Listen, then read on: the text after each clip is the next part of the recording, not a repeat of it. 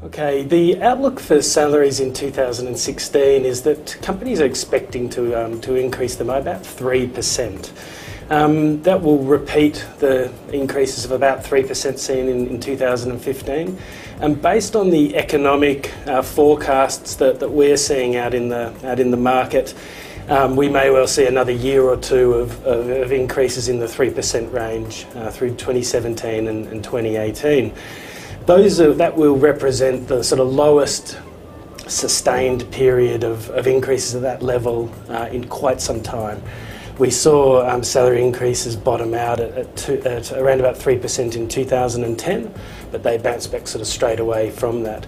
So we are looking at a very um, lean time in terms of the rate at which salaries are increasing. Bonuses, on the other hand, uh, most organisations are, are, attempting to preserve uh, bonus payment levels as much as their business performance allows. So they're being more conservative on the, the pay increases and hoping to, to sort of make up uh, any gap or, or um, shortfall in the, by paying out the bonus programs at the highest possible level. Um, we are seeing um, period, you know, hot spots in the market. They're not uh, extreme, but certainly they're around the areas where, in, in periods of low economic growth, um, companies have sort of pretty much started to, to play all the cards they can around cost management and, productivity. So areas that are um, that are emerging as as um, places where higher than normal pay opportunities exist are in, in business development, so trying to get the top line moving uh, in a new area called innovation.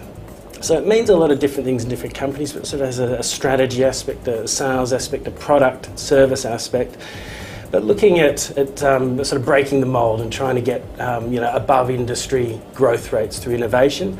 And hand in hand with that is data and, and analytics. And probably the hottest uh, job out in the market is the data scientist uh, at the moment.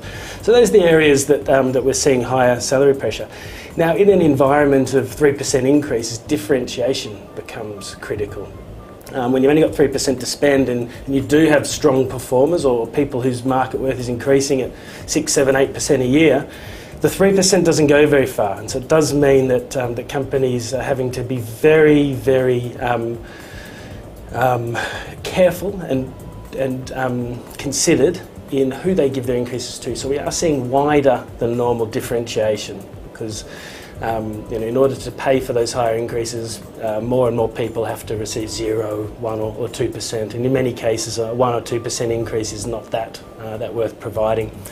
The other force that um, that many organisations are having to balance in this picture as well, in terms of spending at three percent or investing at three percent, is uh, rectifying gender pay differentials, and the significant analysis and um, um, uh, interrogation of data to understand in each individual organisation if and where a gender pay gap exists and allocating the scarce uh, salary increase budget to, you know, um, making remediations to, um, to areas where um, pay seems to be driven by, by gender and nothing else. So uh, the next few years, pretty um, pretty interesting times in terms of spending that very what seems like a very meagre uh, three percent budget.